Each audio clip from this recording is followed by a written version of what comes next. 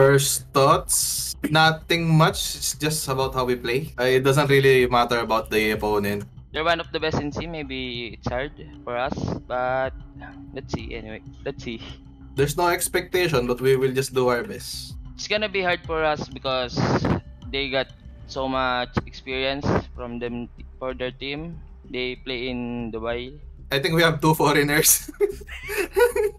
That's why we're so much stronger than them. Our strength, maybe our communications. Maybe the laning because the Filipino guys likes laning. Maybe the Armel is so good playing mid.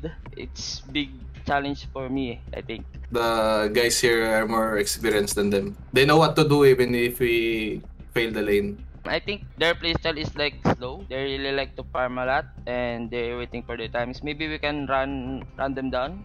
I just wanna play with Tino and Shanks too because they're my old friends too. Destroy them, bro.